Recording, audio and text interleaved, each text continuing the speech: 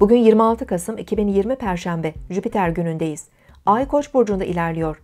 Gün genelinde ruh halimiz daha sabırsız ve meraklı olurken bireysel ve dürtüsel davranma eğiliminde de olabiliriz. Kişisel girişimlere heves ve cesaretle yaklaşabilir, inisiyatif alabiliriz.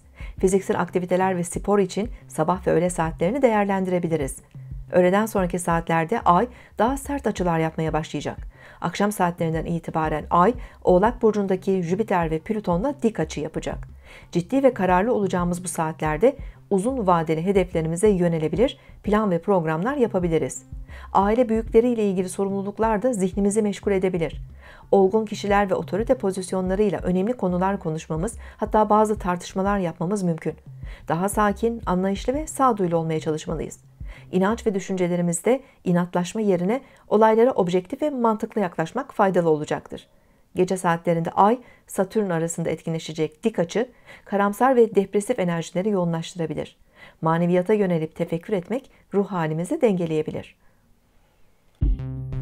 Siz de şimdi kanalımıza abone olun, yorumlar bölümüne sorularınızı yazın, sürprizlerimizden haberdar olun.